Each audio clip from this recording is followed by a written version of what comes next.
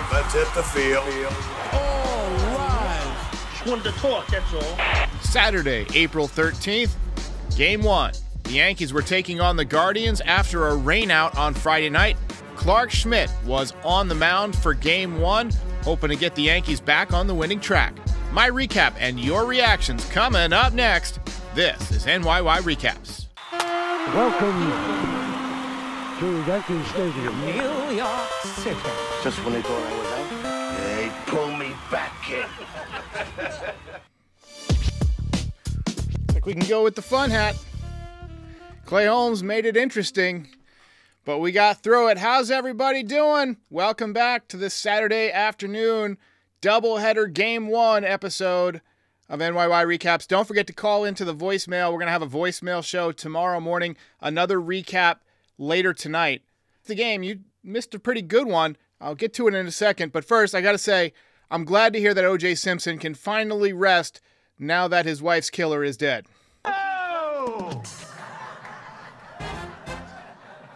It was a windy, windy day in Cleveland today. Uh, Judge had a pop up in the first inning that I thought was going to be an easy play. Ended up carrying all the way to the right field wall. Got a double out of it. Yanks had a couple of pop ups today that ended up dropping in. Rizzo had one. Trevino had one. Trevino forgot he was a catcher for a minute. Got thrown out trying to take second base. But uh, Stanton was out of the lineup. You'll probably see him in game two. Judge was the DH. Swung the bat better. I'm wondering if he's going to be in there for game two. I, I, think he will. I think he'll probably be in center field. We had Grisham out there in center field today, and he was a double play machine. Uh, Oswaldo Cabrera back in the lineup. He stayed hot, hit a big two run home run. You know, it's not hard to get five days off at the major league level and then come in and have a couple of good at bats. He had a home run and a walk today. And Cabrera right now hitting 333 with an OPS over 1,000, not getting much time against left handed pitchers, but doing the job against righties. He's already driven in 10 runs. So uh, Clarke Schmidt, I thought, threw the ball pretty well today, but once again turned into a pumpkin in the sixth inning. We'll talk about that. And once again, just a reminder like and subscribe if you're new. We are creeping up towards 40,000 subscribers. As we finish off the highlights here, you see the uh, big double play there. Clarke Schmidt got a couple of big double plays. Here's the home run from Waldo, 93 above the zone, and he tomahawked it. I believe he hit a home run in, in Cleveland in the playoffs a couple of years ago, if I'm not mistaken. I'm pretty sure he did. Uh, somebody correct me if I'm wrong there, but uh, you see, it was a uh, 96 mile an hour exit velocity, almost 97, 352 feet. So definitely a home run at Yankee Stadium. Caleb Ferguson did a pretty nice job out of the pen today. Gleyber Torres eh, threw one away. That's how the Guardians got their two runs today. Uh, and then uh, really nice play right here by Rizzo. He's been scuffling a little bit defensively, but made a pretty good play uh, when the Yankees needed uh, needed him to. So uh, let's get through your key right, takeaways. Let's get it going. Joe Bag says Florial got robbed. We will talk about that. I do agree with you that I think uh, Florial got robbed today. But let's begin with Clarke Schmidt. Uh, last year, I remember him getting clobbered by Cleveland. He's come a long way as a pitcher since then. He's pitching a little bit like Blake Snell pitches, honestly. He's not as good as Blake Snell, but he basically says, okay, we'll get some base runners. There'll be walks or whatever, but you're not going to do much damage off of me. Threw a ton of pitches, but um, you know, wiggled out of some tough innings. He was throwing the cutter a lot today. I'll get through his pitch breakdown, which I thought was interesting in a little bit. But let's take a look at his stats. You know, he worked into and out of trouble uh, a few times today, first and second innings. Pitch count was elevated, but then he settled into a groove. Struck out the side in the third inning. Curveball was filthy. Got into another jam in the fifth inning but got out of it with a double play. I was surprised they ran him out there for the sixth. He was at 79 pitches, but they weren't stressful pitches, uh, and his command wasn't great. So I felt like, anyway, uh, that six innings was pushing it, uh, but they did send him out there.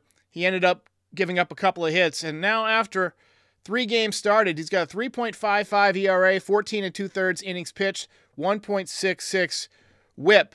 So you know, uh, can't really complain about uh, what we're seeing so far from Mr. Clarke Schmidt.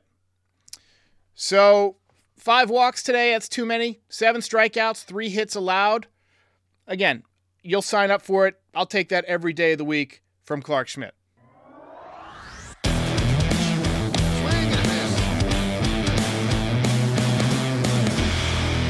You serious, Clark? He had 13 swings and misses on 35 swings, so that's a 37% whiff percentage. Through 85 pitches, 40 of them were cutters, 22 were knuckle curves, through 14 sinkers and 9 sweepers. So about 7 out of every 10 pitches was either a cutter or a curveball. No four seam fastballs in there. I think he needs a changeup, something off speed that kind of tails away from lefties or can tie up a righty. But overall, I thought it was a solid performance despite the walks because he pitched out of some jams. But uh, yeah, tell me in the comments and in the chat what you think about Clarke Schmidt today. Uh, it looked like he was getting some ugly swings there. That breaking ball down and in was nasty. Uh, he, he was elevating the cutter. That one was 90. Uh, he would get 92, 93 miles an hour with it. So, very, very nice job. That's all I have to say about that. So, on the offensive side of things, the Yankees had a ton of men on base today. As you can see, they only scored three runs. So, they probably should have done more damage than they ended up doing. Uh, they got their first run on a bases loaded double play from Trent Grisham. Not, out, not ideal, but you'll take it to get the lead. Loaded the bases a few times in this game. Aaron Judge and Gleyber Torres both had better at bats. Torres hit a bullet line drive, best hit we've seen from him in a couple of weeks in terms of you know pulling his hands in and coming to an inside pitch and getting the barrel on it. I feel like he's been getting tied up a little bit, or he's diving at those outside pitches. But uh, he went one for four. Did make an error, left a small village on the bases, but I saw some good swings. Uh, Judge, couple of hits, two for five with a double.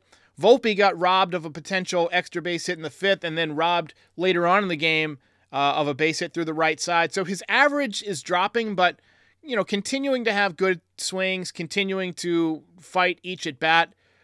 He was never going to hit 425 for this season. Uh, he's down to 340. You'll take 340, uh, but I, you know, he could have easily had two hits today. Is the point I'm making? Uh, top six, Oswaldo Cabrera continues to stay hot. And there should be a graphic coming up any second now. No? No? Something something wrong with my graphic. Anyway, Oswaldo had a uh, two-run home run. Yeah, uh, hang on a second. Yep, it's not working. But Oswaldo two-run home run. Um, I'm not sure why the graphic's not working. It'll. I, I probably got. I probably messed up something. But uh, 353 feet, first row, first row, not too bad. You'll you'll take it. You'll take a fence scraper. And uh, Verdugo had a couple of hits today. You know, Guardians got a couple of runs on the Gleyber Torres error. It was a double play ball. He tried to take it himself. They made a case that maybe he could have flipped it to Volpe, but uh, Volpe was kind of close, so it made sense to take it himself. But then he kind of threw off balance, threw it away, and two runs scored. We spend $250 billion a year on defense.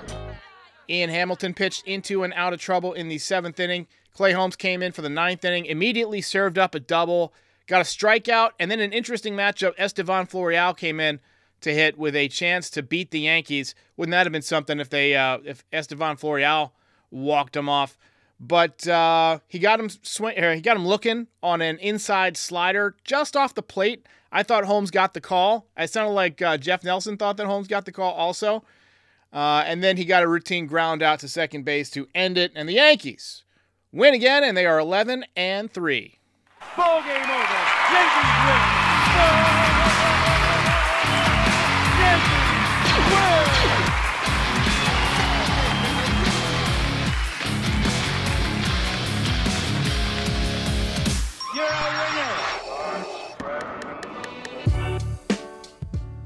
You'll take it.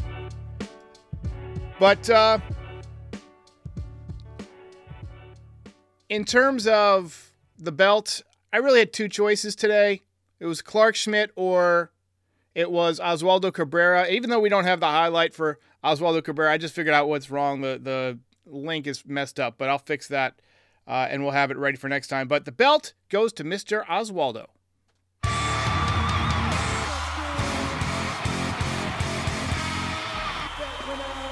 Staying hot. Tommy Higgs says Judge is slowly coming around. Definitely better at bats today for sure. Get to says that 11 and 3 feels pretty amazing. I'm going to have to go ahead and agree with you. Let's uh, let's take a look at the box score, shall we? Because the Yankees did have 10 hits today. Like I said, I feel they should have scored more runs than they got. So 10 hits allowed or 10 hits from the Yankees, 5 hits allowed to the Guardians. Uh, you see Volpe 0 for 4, Soto 0 for 4, multi-hit games from Judge, from Rizzo, from Verdugo, and from Trevino. Trevino had a pop-up that dropped in, so it wasn't like he was scalding the ball, still hitting 143. See the bullpen did a nice job with four scoreless innings in relief of Clarke Schmidt.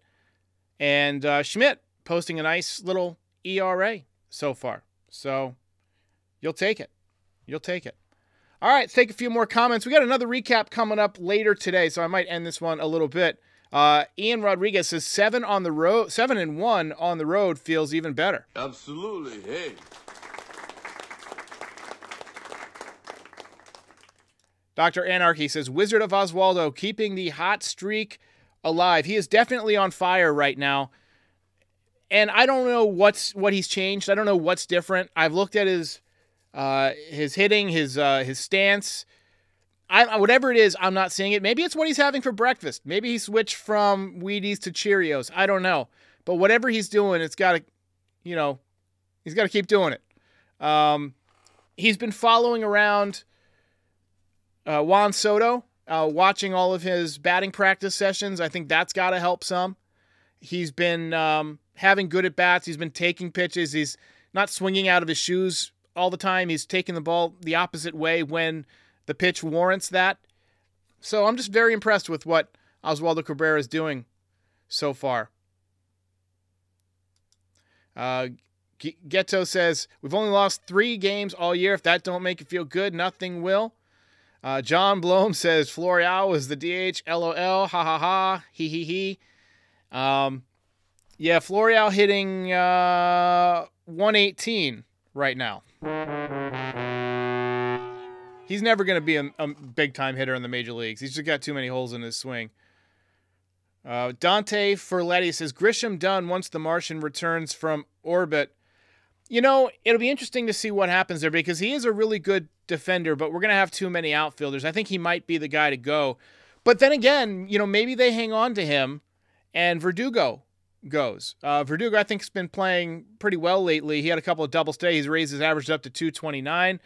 It really depends on whether or not the Yankees need something because if Verdugo's not going to be playing every day, if he's coming out of the lineup, right, and you've got the Martian in center, you've got Judge or Soto in left, and, and the other one in right, and then you got Stanton at DH, well, you know, that, that leaves, you know, you have to choose between who's going to be your fourth outfielder, whether it's going to be Grisham or whether it's going to be Verdugo. Now, will Verdugo play well when he hasn't been playing every day? Uh, and, you know, Grisham's really there for his defense. You know, he's not in there for his offense. There is an opportunity, I think, to flip some somebody uh, in a trade, you know, at the deadline or or when the Martian comes back. That's assuming everybody's healthy.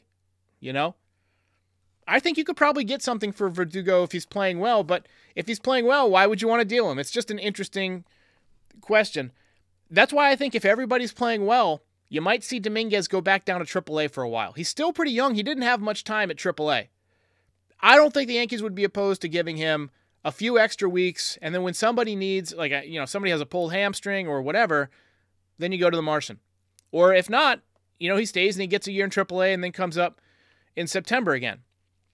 You know, let's not forget, when you're coming back from Tommy John surgery, especially the early stages of your comeback, the uh, power isn't always there. You know, last year Bryce Harper took him a couple of months to get, you know, he came back early to get that power stroke going. And Dominguez is a guy with some power. And once again, he's, you know, he hasn't faced a lot of AAA hitter uh, pitchers. He hasn't faced a lot of major league pitchers. Like, do we really expect him to step in there and be great all of a sudden? I think he's going to be great, but I think he might need a little bit of time, you know, after coming back and totally rehabbing to get back in the groove. You know, let him let him play a month at AAA if everybody's healthy, you know? And then trade deadline comes around. You know, it's the end of July. Let's say Dominguez is playing well at AAA. He's healthy. He's hitting for power again, looking good from both sides of the plate. He's in shape. And then you've got Verdugo playing well, playing like Verdugo. You've got Grisham, hopefully, uh, you know, at least carrying his weight as a defensive replacement. Soto's obviously not going anywhere. Judge not going anywhere. Stanton probably not going anywhere. Then you make the decision. Who can I get the most for? My hunch is you probably get the most for Verdugo. And I have no problem replacing Verdugo with the Martian if the Martian is ready. Because, one, the Martian is younger, he's a switch hitter, and he's a homegrown guy. You know? So I got no no problem. And I think he's got more power than Verdugo, quite frankly. So no need to rush him. Uh, a lot of people in the comments seem to agree. Uh, Dominic Calderon says, All I know is Birdie better get comfortable on the bench. You're a smart motherfucker. That's right.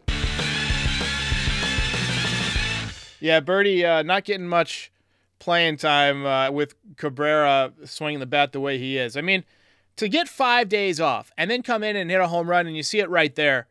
Let me go uh, full screen because we couldn't show the um, the highlight, the hype reel like I wanted to.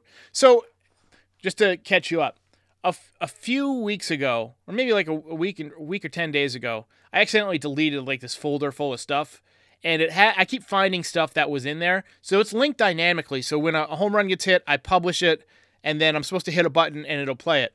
Uh, and um, you know, every once in a while, I find out that the button was in that folder, and so Oswaldo Cabrera must have been in that folder. So uh, I've done some reorganizing, but I've lost a few things, and I'm still working to get them back. But anyway, let's go back and watch through the highlights uh, one more time because this was a pretty tight little ball game.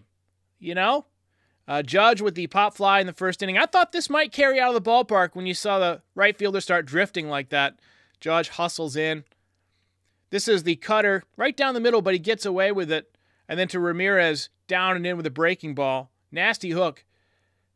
You see him swing right over the top of it. Just he had some ugly swings like that today, or or he induced some ugly swings like that. Clarke Schmidt. Uh, getting the force out there at second. This is Grisham banging into the double play. Boom, boom, boom, boom. Another outside breaking ball. It seems like he starts them above the zone and they drop in. You see he gives up on it and it just drops in there for a strike. Nice pitch.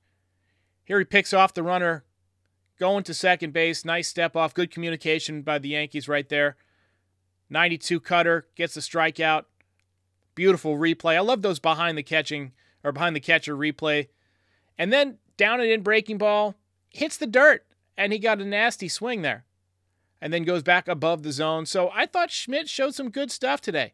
Gets a little tapper to second to get the double play. Big double play right there. That kept his pitch count under control. Here's another one in the fifth. So he seemed to get it when he needed to. And here's the home run from Cabrera. You see up above the zone, tomahawks it into the first row. This guy's pissed off because it hits his hands and bounces away. He'll never have that opportunity again. Home run for Cabrera.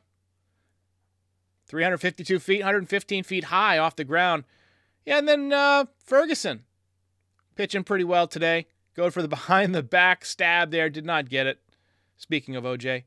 Uh, and then um, wild throw from Gleyber Torres right there. This was the nice play from Rizzo. Again, getting the out.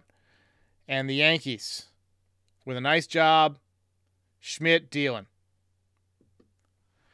All right, so uh, go ahead and call into the voicemail, and we'll take some uh, some comments uh, tomorrow morning. We're gonna have a voicemail show. We're doing that the morning after every game. Also, go check out the merch NYYRecaps.shop and pick up something to support the podcast. We got hats. Show you one of the new hats we got. We got these trucker hats with the Fun Hat logo on there, and it's really not the Yankees logo. It's the Fun Hat logo. It's got the little microphone instead of five stars. It's got four stars and a microphone. So, you know, we got our own little play on things.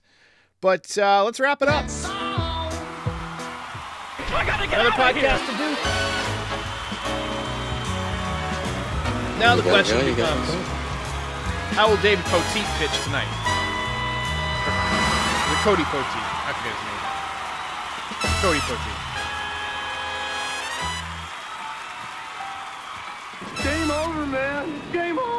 All right, ladies and gentlemen, thanks for watching. Like and subscribe if you're new. Sign up on all your favorite audio podcast platforms, uh, so you never miss a game. Uh, I, I put the recap up about five minutes afterwards. We're going to try and start putting the voicemails on there sometimes too.